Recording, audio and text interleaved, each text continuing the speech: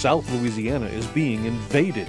Exotic plants and animals have been introduced into our estuary both purposefully and accidentally. These invaders threaten the natural function of our ecosystem and drive out native species. The choices you make have a consequence. Never release exotic animals into the wild. And ask your garden provider to suggest native alternatives to exotic plants. To learn more, go to www.btnep.org.